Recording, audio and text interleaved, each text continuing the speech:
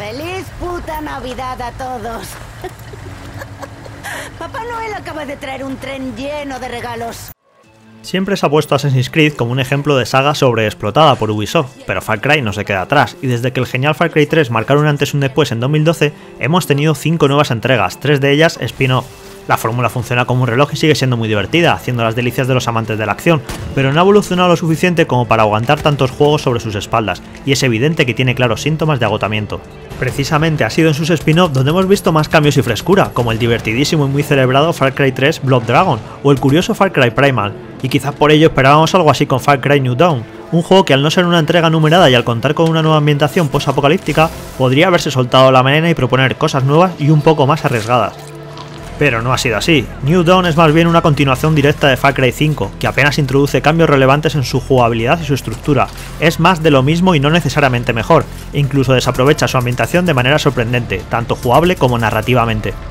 Aún así sigue siendo una aventura de acción muy entretenida y su jugabilidad funciona realmente bien, y cuenta con los habituales valores de producción de los juegos de Ubisoft, que siempre son bastante altos, pero se nota que ha sido un desarrollo corto y poco ambicioso, y que recicla un montón del trabajo hecho en Far Cry 5, algo que ni siquiera se han molestado demasiado en disimular.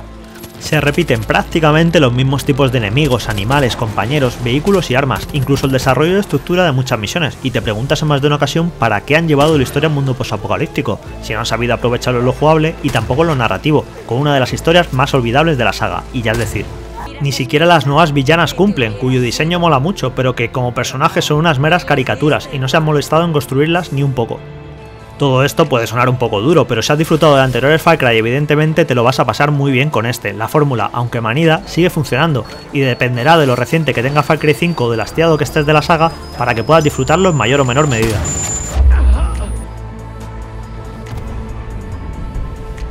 Far Cry New Dawn es una continuación directa de Far Cry 5, pero vemos al mismo escenario, al bello y peligroso condado de Hope en Montana, 17 años después de un apocalipsis nuclear. Las cosas evidentemente han cambiado un poco y los supervivientes están reconstruyendo la civilización a la vez que tienen que combatir a una nueva amenaza, los salteadores, unos saqueadores nihilistas liderados por un par de gemelas psicópatas, Mickey y Lou, que como ya hemos dicho son posiblemente las peores villanas de la saga. Así nos reencontraremos con viejos conocidos, se nos harán curiosas referencias a los hechos del pasado y a lo que ha ocurrido en estos 17 años, y por supuesto volveremos a movernos por los mismos escenarios, aunque con cambios estéticos. Aunque esto ha generado cierta polémica, sinceramente, que hayan reciclado el mapa del anterior Far Cry es uno de los menores problemas del juego, y gran parte del tiempo ni te parece que estés en el mismo escenario, solo cuando llegas a ciertas localizaciones. De hecho, no es exactamente el mismo mapa, es una versión reducida, y aunque esto puede sonar negativo, a nosotros nos ha gustado. Es un Far Cry más recogidito, y se agradece, no te sientes tan abrumado por su tamaño y la cantidad de contenidos, y su historia se puede determinar en unas 12 o 15 horas. Las primeras horas de la aventura se disfrutan mucho, se ve y se juega genial, la fórmula es tan entretenida y sólida como siempre,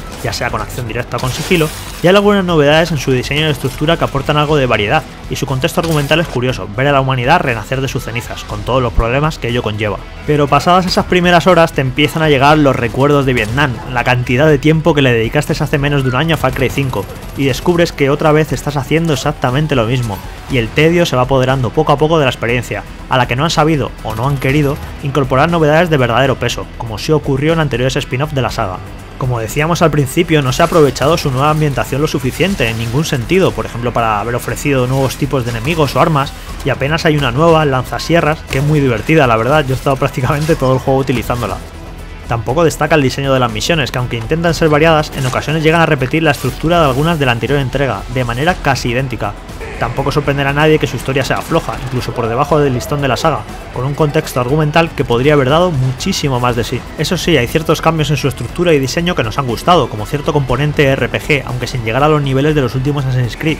Ahora tanto las misiones como los enemigos y las armas tienen un nivel de fuerza, dificultad, del 1 al 3 y un cuarto llamado élite, y esto nos va indicando a qué peligros podemos enfrentarnos, además de ver el daño que causamos representado en números, como en cualquier juego de rol. Al principio y con armas de nivel 1 no tendremos nada que hacer con enemigos de nivel 3, así que conviene mejorar el arsenal antes de afrontar determinados retos. Para construir nuevas y mejores armas tendremos que conseguir abundantes recursos explorando los escenarios y completando misiones, y sobre todo obtener el recurso más valioso de todos, el etanol, con el que mejoramos y ampliamos nuestra base de operaciones, Prosperity. Aquí es donde trabajan y se resguardan nuestros aliados, y si mejoramos sus instalaciones iremos desbloqueando diferentes tipos de ventajas, como más salud, poder construir nuevas armas, explosivos, vehículos, o que los compañeros de armas sean más fuertes. La mejor manera de obtener etanol para mejorar nuestra base es conquistar puestos enemigos, ya sabéis, los característicos campamentos de la saga que podemos asaltar con sigilo o con acción directa. Aquí hay una novedad bastante curiosa y es el hecho de que cuando hemos tomado un puesto podemos saquearlo y liberarlo, pudiéndolo dejar nuevamente en manos de los enemigos, aunque la dificultad de esto subirá, y por tanto también las recompensas que obtendremos si volvemos a conquistar ese mismo puesto. Además de una treintena de puestos que podemos asaltar una y otra vez con dificultad creciente, tenemos las habituales misiones principales y secundarias, las misiones en las que reclutamos a los compañeros que pueden combatir a nuestro lado, los alijos de tesoros, que son unas misiones muy curiosas originales al incluir plataformeo e incluso puzzles,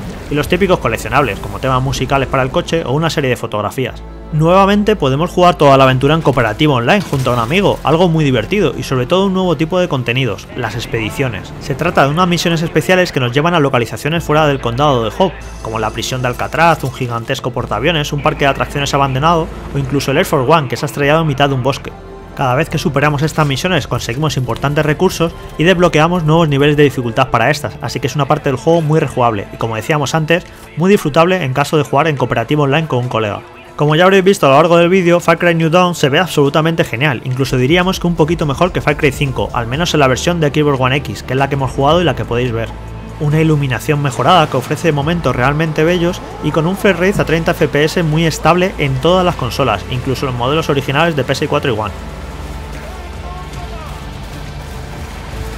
Far Cry New Dawn es un buen juego, sí, pero también es totalmente prescindible y no aporta demasiado a la saga. Aunque tiene algunas novedades interesantes en su estructura, tenemos demasiado cercano en el tiempo el enorme Far Cry 5, como para que esta nueva entrega no se sienta como más de lo mismo, y además una de sus grandes bazas, su ambientación post-apocalíptica, finalmente se ha desaprovechado. Si eres fan de la saga seguro que no vas a tener demasiados problemas para disfrutarlo, insistimos, es una buena aventura de acción, pero hay que exigirle mucho más a Ubisoft y a Far Cry que un juego hecho de elementos reciclados y sin demasiada pasión y esmero, tan solo un año después.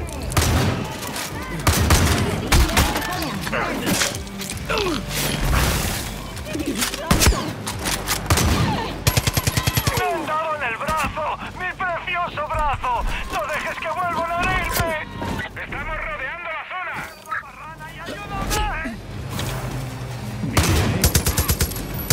¡Ay! ¡Muertos! ¡No aguanto este dolor! ¡Y eso que tengo un hijo! ¡Oh!